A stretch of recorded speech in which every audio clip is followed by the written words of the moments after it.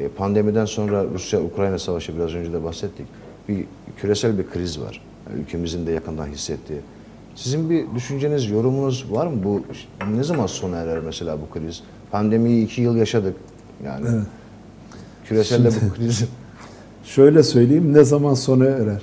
Sana yine ben bir fıkrayla anlatayım tamam?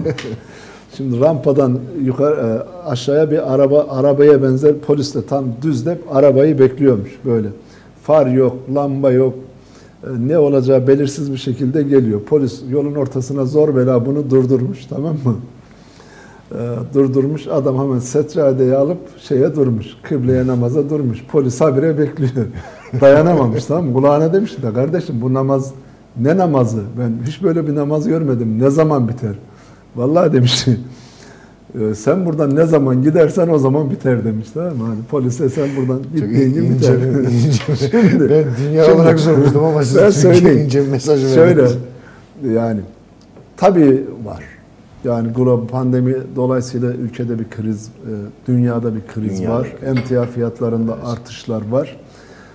Ama onlara hafif silkeliyor. Bir ara Sayın Cumhurbaşkanımız demişti ki 2008-9'da kriz Türkiye'yi teğet geçti diyordu. Yani teğet geçti diyordu. Ama bugün yıktı geçti. Yani bugün bu bu kadar etki olmamalı. Yani muhakkak e, vardır ama bunların arkasına sığınma gibi bir lüksümüz yok. Yani çözüm üretmeli, e, çözümün üzerine gitmeli. Bugün yarına dair hiçbir fikrimiz yok.